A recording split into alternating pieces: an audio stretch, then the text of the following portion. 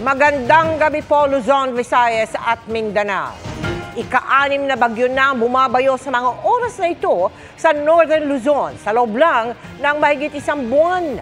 Ikatlong super typhoon din itong bagyong Ophel na naglandfall sa Bagao, Cagayan bago humina sa typhoon category habang tumatawid sa kalupaan. Libu-libong residente na naman ang inilikas. Ang problema, kulang na ang espasyo sa evacuation site na winasak ng mga naunang bagyo.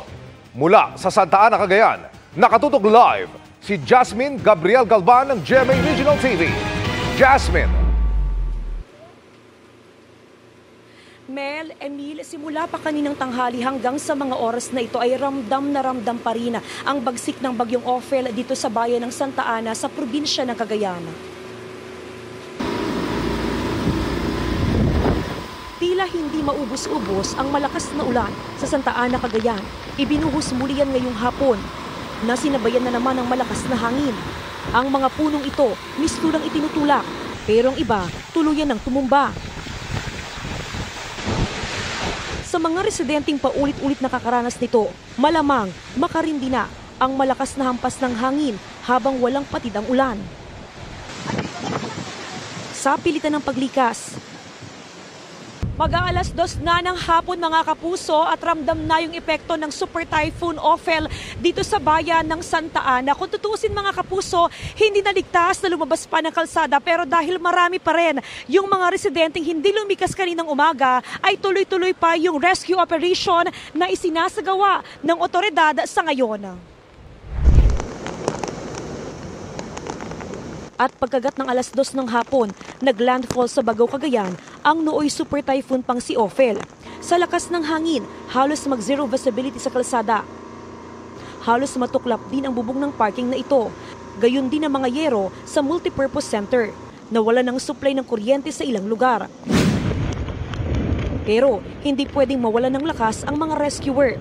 Sa bayan ng Bugay, buong tapang nilang sinuong ang hagupit ng bagyo para masagip ang isang residente.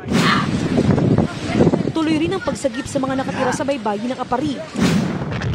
Hindi na maaninag ang pagkakaiba ng mga lugar dahil puro ulan at pagaspas ng hangin ang mababanaag gaya sa bayan ng Gonzaga. Pati sa sentro Amulong na naibalang na naglalakas ding hampas ng alo ng Cagayan River sa Barangay San Vicente sa bayan ng Santa Ana kung saan narito ang ating team nasaksihan ko mag-aalauna ng hapon kung paanong halos baliin ng hangin ng bagyo ang sanga ng mga punong kahoy. Dinig na dinig namin ang tila pagsipol ng hangin.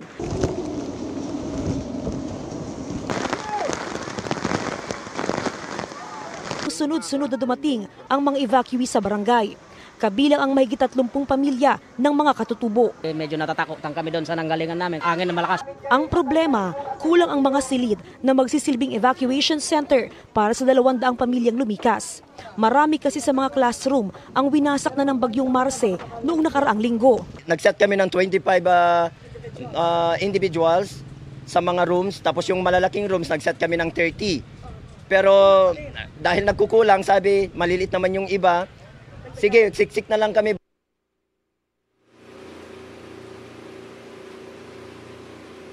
Emil, simula kaninang tanghali, wala ng supply ng kuryente ang walong bayan sa probinsya ng Cagayan. As of 6 p.m.